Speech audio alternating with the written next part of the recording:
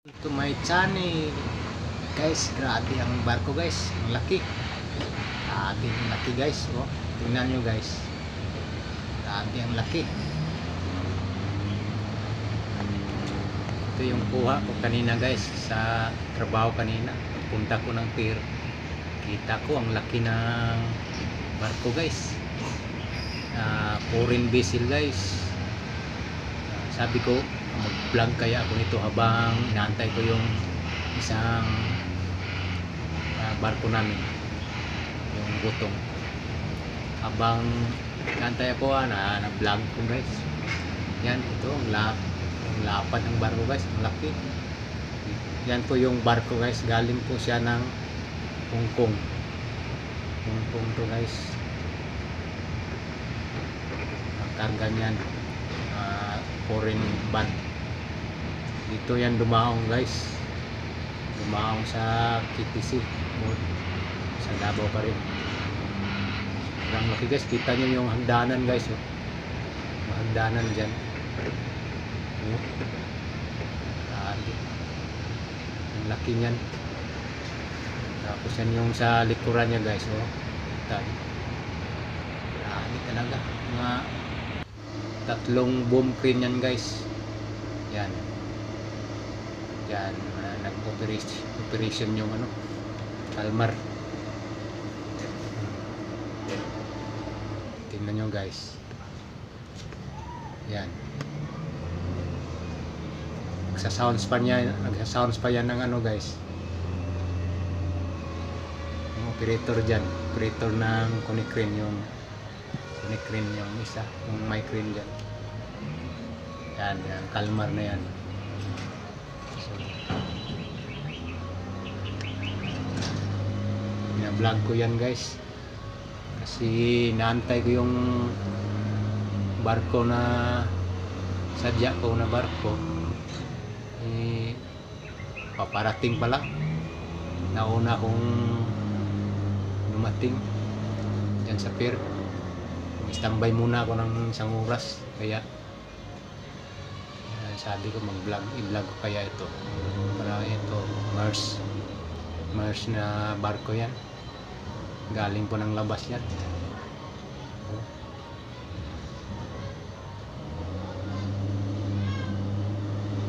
Maraming crew ito guys. Maraming crew yan. Ayan guys. Madalas din dito mag-dock ang uh, ano guys. Mga malaking barko.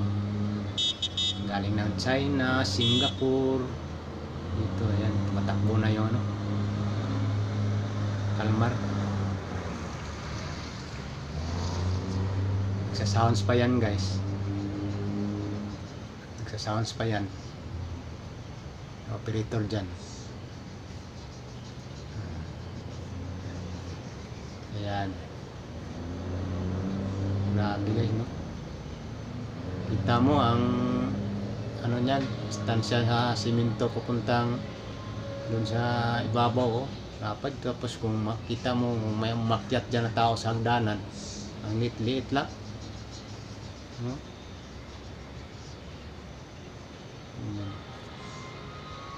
Pero hindi ako sasakay dyan guys kasi wala kaming container dyan. Local lang sa amin. Local. Galing ng Cebu. Galing ng Manila. Yan oh yung kita mo yung bomb crane niya guys ayan. Bomb crane niya. Tatlo. Basta mga foreign guys. Tatlo ang bomb crane pero pag mga local lang dito inter-island lang Pilipinas dalawa lang bomb crane bomb crane ng barko.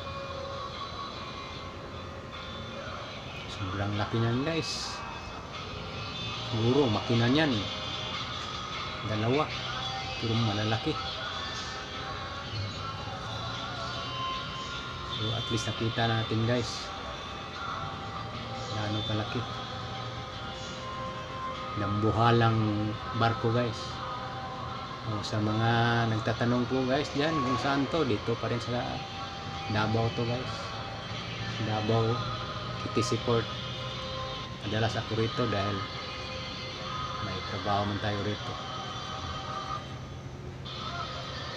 yan.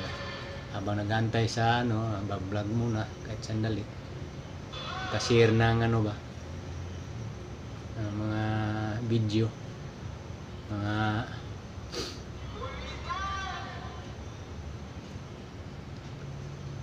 Ah. ayan. So hanggang dito lang muna guys yung video ko. Ah, maraming salamat po sa inyong panonood. Stay at home. God bless. At ingat po